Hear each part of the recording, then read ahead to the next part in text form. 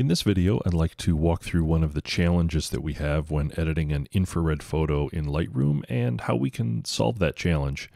It has to do with the, the this red cast that we start off with when we look at a photo. This this infrared photo was shot with a 590 nanometer filter and I want to turn it into a false color image with a, a, blue sky and some colorful foliage, but this red cast is making it challenging.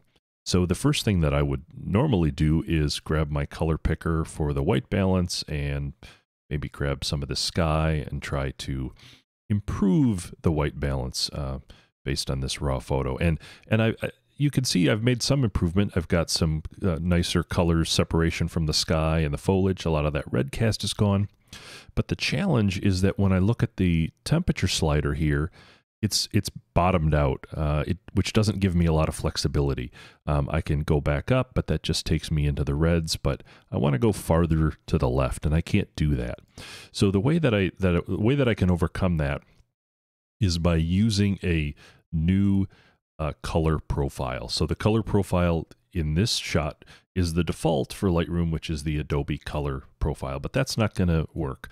So what we need to do is create our own, and we can do that with the Adobe DNG profile editor.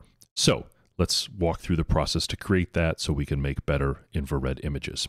So the first thing we need is we need a DNG file. This file is a RAF, which is a raw Fujifilm file. Uh, but in order to actually use the DNG profile editor, I'm going to need a DNG file. So I can, there's a couple ways that I can do that. From the library module, I can import, um, and when I'm importing an image for the first time, I can select copy as DNG. This will convert your raw images to uh, the DNG format uh, right on import. But if you if you haven't done that, and you already have your image in. You can also go to li the library menu and select convert to DNG. So I'll do that. I'll just accept the defaults. And now Lightroom will convert this photo from an RAF to a DNG, and you can see that it's done so. All right, so now that I have uh, this file in place, now I can uh, work with the DNG uh, profile editor. So first thing we need to do is to get that. So if you do a search for the Adobe DNG profile editor, you will come across this link uh, at Adobe. And if I click that link and scroll down the page, down into the resources section, I can see the DNG profile editor.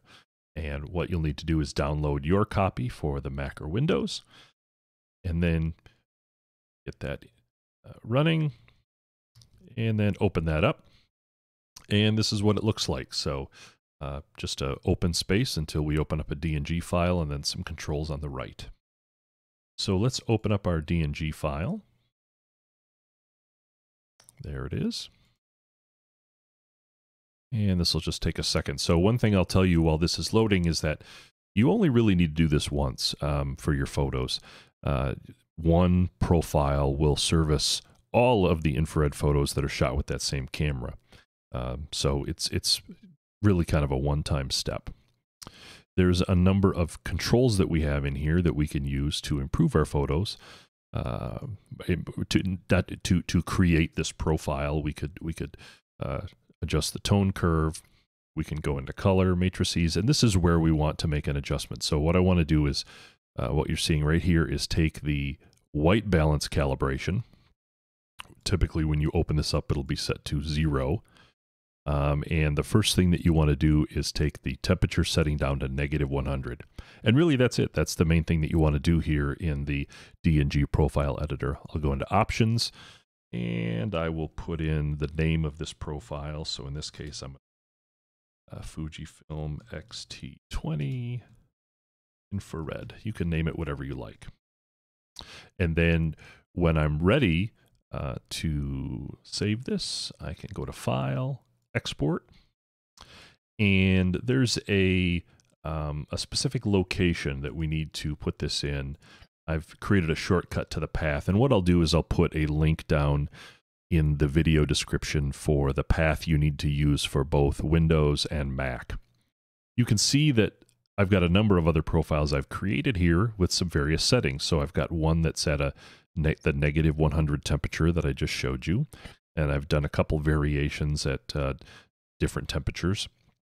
Also created a, a black and white version where I just took the uh, saturation of each color down and then a slightly desaturated version. So while you only need one uh, color profile, you could create a handful of them if you want some flexibility. So go ahead and save your color profile to this location.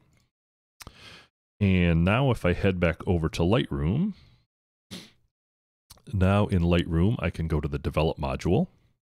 And under the Profile, I can select the Profile browser to the right. By default, you're going to see the Adobe, uh, Adobe RAW profiles, but I'm going to go down to this Profiles section down here and expand that up. And here you'll see all of those various profiles that I created with the Adobe DNG Profile Editor. Uh, so this is um, kind of my standard, and then here's my negative 50, negative 75, negative 100, black and white, and then a desaturated. Now these all look, they, the color balance is all over the place, and that's okay. That's normal. So, but I'll just, I'll select this, uh, my, my, the most commonly used profile that I have here for my uh, raw files, and I'll close this. And now, uh, when I go to select a white balance, and if I do the same kind of white balance on the cloud, um, now you'll notice that the temperature slider is a little bit more centered. And the benefit here is that now I can move this around a little bit more. So for example, if I go to the right, I can really get a lot more pop in these colors and separation. So this is the kind of flexibility that you want when you're creating your false color infrared images. You want to be able to slide these around and have some control. So let's say I decide that I really like the setting here. I could play around with the tint as well. Get that where, where I like it to be. And then what I'm going to do next is to be, take this photo into Lightroom to be able to now do the channel swap. So now that I've got these, uh, the, the white balance where I like it, I can click here, edit in Photoshop. Now this file will load up in Photoshop. The only change I've made up to this point is just tweaking, selecting that profile and tweaking my white balance. And now if I swap the, the, the channels, now I get this sort of standard infrared look that, uh, that I'm looking for. If you look at the channel mixer uh, adjustment layer that I've done, it sets the red output channel to 100 and it sets the blue output channel to 100 in the red area. And that's really it. Um, so now, now that I've, I've made this change, I can save this file.